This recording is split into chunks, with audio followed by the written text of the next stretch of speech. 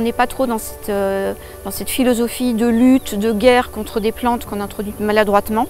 On est plutôt dans un schéma de contrôle de ces espèces. Mieux comprendre leur physiologie nous aidera aussi à comprendre comment elles se développent aussi facilement. Et puis surtout, eh bien, de leur valoriser, leur donner une seconde vie, les rendre utiles pour aller dépolluer un système aquatique ou pour en faire une chimie euh, qui va réduire son empreinte environnementale.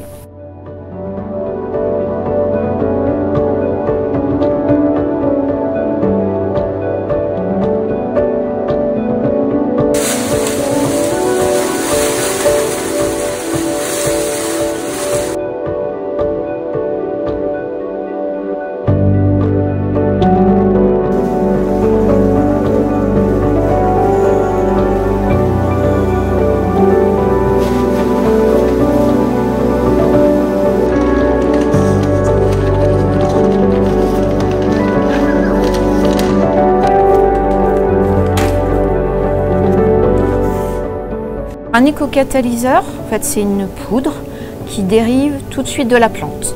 Euh, donc, euh, soit les racines, soit les feuilles, qui sont riches en espèces minérales, en espèces métalliques d'intérêt, vont être traitées thermiquement pour obtenir cette poudre végétale.